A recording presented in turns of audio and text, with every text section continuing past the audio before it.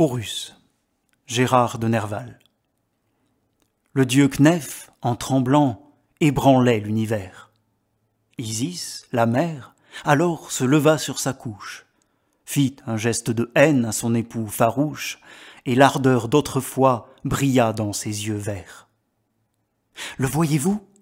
dit-elle. Il meurt, ce vieux pervers. Tous les frimas du monde ont passé par sa bouche.